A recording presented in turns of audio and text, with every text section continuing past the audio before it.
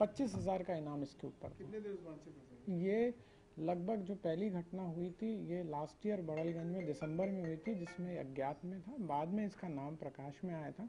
इसके बाद 20 मई को जो घटना बड़लगंज में पिता पुत्र फायरिंग जिनके ऊपर हुई थी दोपहर के अंदर फायरिंग की गई थी इसके अंदर ये नामजद था और कुछ लोग अज्ञात में थे जिसमें इसके साथियों का नाम प्रकाश में आया था। उसके बाद जून जो अट्ठारह जून को जो घटना हुई थी उसमें पुलिस पार्टी के ऊपर इसने फायर किया था। तो लगभग 10 महीने से अलग अलग घटनाओं के अंदर वांछित